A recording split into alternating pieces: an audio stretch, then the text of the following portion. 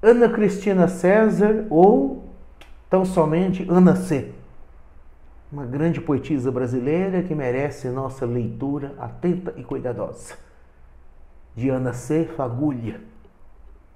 Abri curiosa o céu, assim, afastando de leve as cortinas. Ele queria entrar, coração ante coração, inteiriça, ou pelo menos mover-me um pouco com aquela parcimônia que caracterizava as agitações me chamando.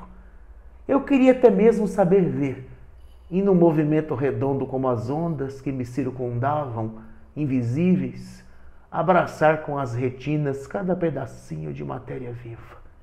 Eu queria só perceber o invislumbrável no levíssimo que sobrevoa.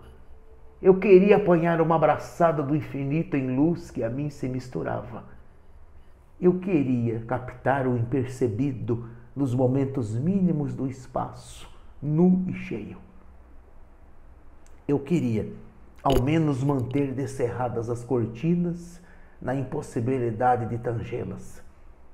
Eu não sabia que virar pelo avesso era uma experiência mortal. Diana C., do livro A Teus Pés. É uma experiência intensa ler Ana C. Se você gostou desse vídeo e gosta de Ana Cristina César, dê seu joinha, comente, compartilhe. Vamos espalhar poesia pelo mundo.